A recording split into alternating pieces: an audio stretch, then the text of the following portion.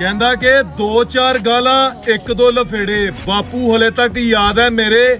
ਮੈਂ 10 ਮੰਗੇ ਤੇ 20 ਦਿੱਤੇ ਤੂੰ। ਤੇਰੇ ਕੋਲ ਨਹੀਂ ਸੀ ਤਾਂ ਵੀ ਦਿੱਤੇ ਤੂੰ। ਸਾਰੀ ਜ਼ਿੰਦਗੀ ਮੇਰੇ ਲੇਖੇ ਲਾਤੀ। ਆਪ ਰੁੱਲ ਗਿਆ, ਮੇਰੀ ਜ਼ਿੰਦਗੀ ਬਣਾਤੀ। ਬਾਪੂ, ਯਾਰ, ਇੱਕ ਧੋਖਾ ਕਰੀ ਨਾ। ਸਾਡੇ ਮਰਨ ਤੋਂ ਪਹਿਲੇ ਮਰੀ ਨਾ। ਬਾਪੂ, ਤੇਰੇ ਕਰਕੇ ਮੈਂ ਪੈਰਾਂ ਤੇ ਖਲੋ ਗਿਆ। ਤੂੰ ਸਾਈਕਲਾਂ ਤੇ ਕੱਟੀ ਤੇ ਮੈਂ ਗੱਡੀ ਜੋਗਾ ਹੋ ਗਿਆ।